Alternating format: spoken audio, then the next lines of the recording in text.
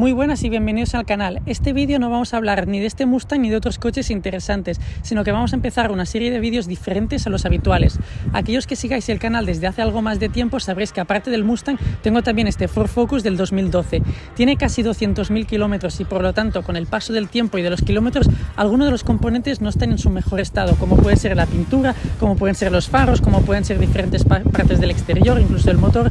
Si lo que haremos será restaurarlo y ponerlo al día, empezando por los faros. Este vídeo de aquí empezaremos restaurando los faros y los dejaremos brillantes como el primer día.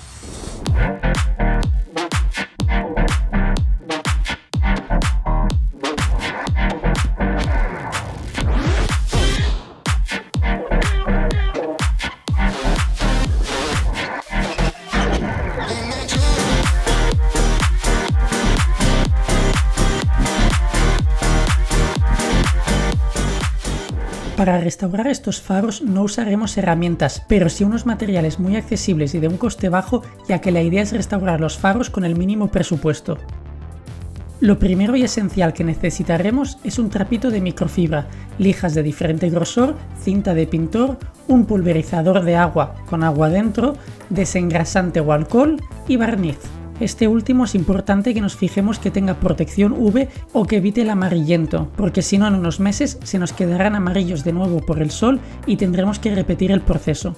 Opcionalmente, y para conseguir un mejor resultado, podemos incluir en nuestra lista una esponja o taco para las lijas, papel con cinta para facilitar la protección de la carrocería, un pulimiento y un aplicador. Casi todos estos materiales se pueden encontrar con facilidad en cualquier gran almacén de bricolaje, en ferreterías o incluso online, y el coste total de estos materiales ha sido de unos 50 euros. La compra de los productos esenciales es lo más barato, las lijas me han costado 55 céntimos cada una, el pulverizador lo he cogido de casa y cualquier envase similar puede servir, si no en el IKEA podéis encontrar uno por 2 euros.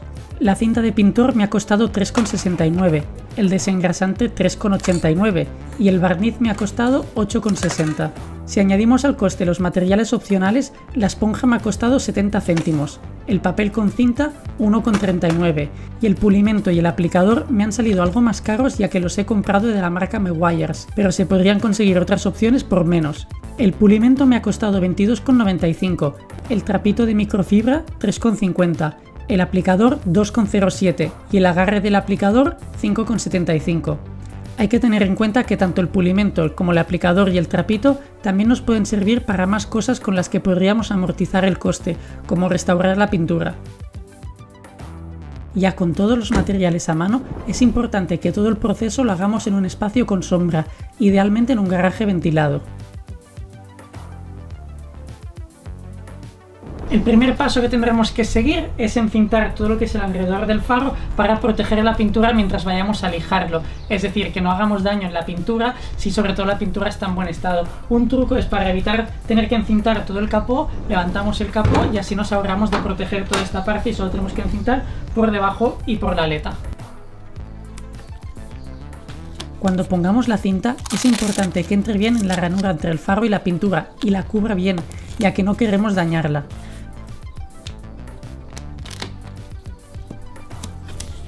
También recomiendo poner más de una capa ya que a medida que vayamos lijando, sobre todo por los alrededores, estaremos rascando la cinta y se puede romper con facilidad.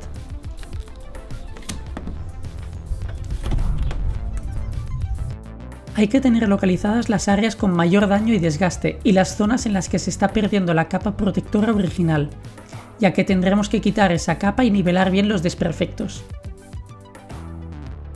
Y antes de empezar a lijar, hay que humedecer bien el faro por completo con el pulverizador de agua. Pero también podemos preparar un cubo con agua donde poder ir mojando la lija si eso nos va mejor. Y ahora ya podemos pasar al paso más tedioso, lijar. Hay que empezar con la lija más gruesa, yo en mi caso he usado la 600 para empezar, pero si los faros están poco dañados podemos empezar con una más fina, Lijaremos el faro haciendo círculos para conseguir el lijado más óptimo.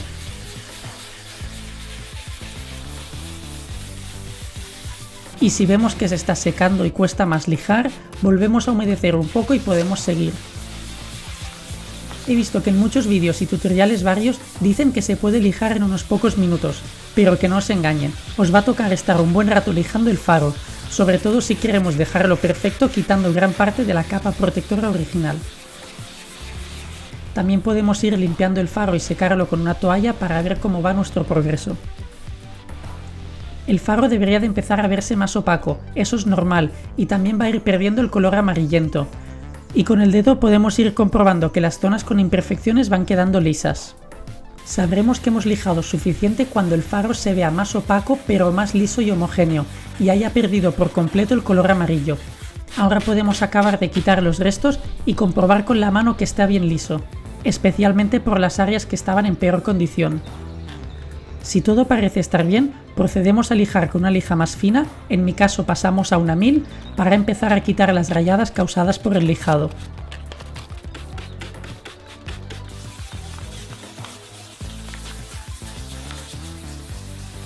En este paso no hará falta lijar tanto, y tras unos 5 minutos lijando bien todo el faro, podemos comprobar que está quedando más liso y las rayadas quedan más finas.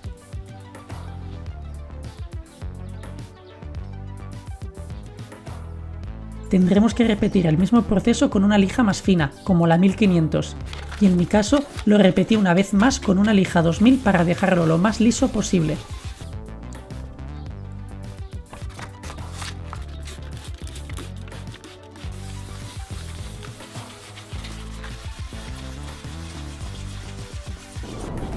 Finalmente quitamos la suciedad general del faro y podremos ver el progreso.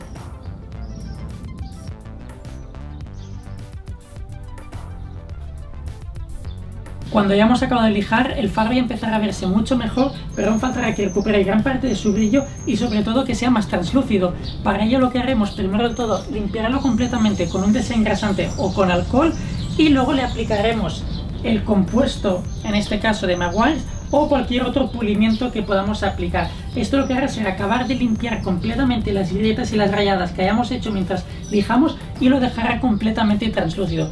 Para ello podemos utilizar o bien un trapito de microfibra o un aplicador con su soporte para que podamos aplicarlo cómodamente.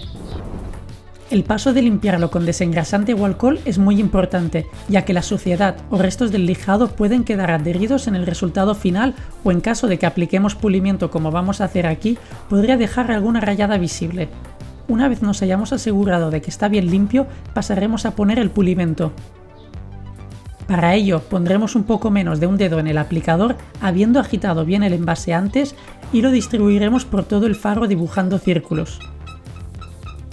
Muchos tutoriales omiten este paso y van directamente al barniz después de lijar, pero es un paso importante si queremos un resultado más uniforme y liso. Al aplicar el pulimento tenemos que frotar hasta que desaparezca completamente el producto, es decir, que no se vea ningún restillo blanco encima del faro. Yo apliqué dos capas de pulimento, y en este paso ya se puede empezar a notar el resultado al ver cómo el faro va recuperando el brillo. Y habiendo finalizado de aplicar el pulimento, con el trapito de microfibra retiraremos todos los posibles restos del producto.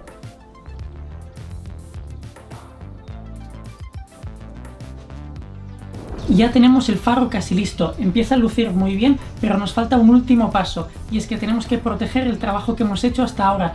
Para ello lo que haremos será utilizar un barniz o una laca protectora de acabado brillante, sobre todo que sea de protección UV o bien para exteriores o que tenga anti-amarillento para poder evitar que con el tiempo se nos vuelva a poner otra vez igual y tengamos que repetir el proceso. Haremos un par de capas de barniz sobre el faro y conseguiremos ese acabado brillante que nos dejará el faro como nuevo. Antes de aplicar el barniz hay que proteger bien la pintura del coche y para ello usaremos el papel con cinta que pondremos con mucho cuidado de no dejar ningún hueco libre.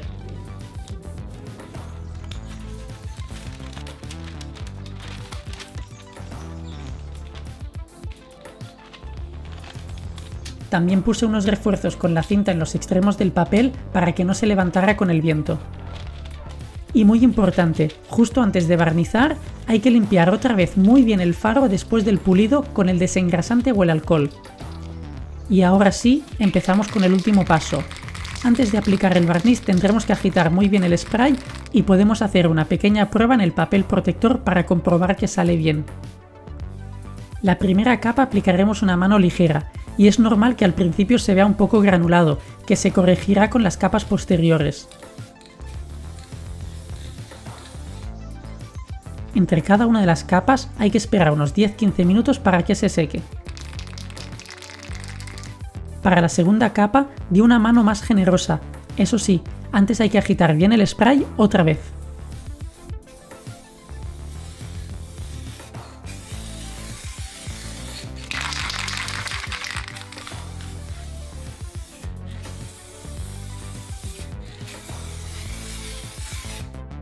Dependiendo de cómo veáis el acabado, le podéis aplicar una tercera capa, pero dos deberían de ser suficientes, sobre todo si la segunda ha sido más generosa.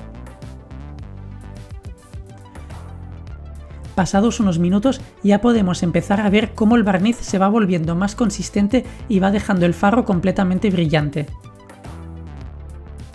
En cuanto hayan pasado unos 15 minutos de la última mano de barniz, podremos sacar con mucho cuidado los papeles protectores sin tocar el faro y empezar a ver el resultado final.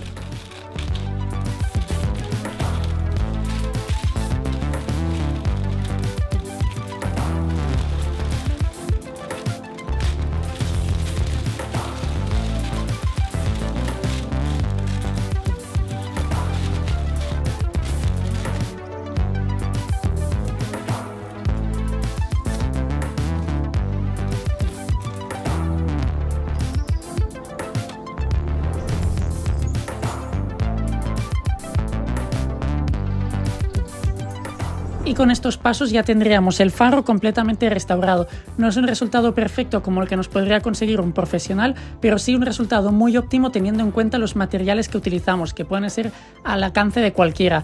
Ahora lo único que nos falta es conseguir este resultado en el otro faro también. Así que con este chasquido y unas horas después hemos hecho también el otro faro, así que ya tenemos ambos faros completamente restaurados. Tened en cuenta que a mí me ha llevado unas dos horas cada faro, puede ser que os lleve algo menos en función de lo que tengáis que lijar y si lo hacéis ambos a la vez seguramente ganaréis algo de tiempo, pero no estaría mal reservar toda una mañana o toda una tarde para hacer este procedimiento. Y con esto espero que os haya sido útil este vídeo. Si tenéis algún consejo más que queráis aportar, dejadlo en los comentarios que lo fijaré para que otras personas lo puedan ver también. Os dejo ahora con algunas tomas del resultado y del antes y el después y por mi parte me despido. Muchas gracias por rever el vídeo y nos vemos en el próximo.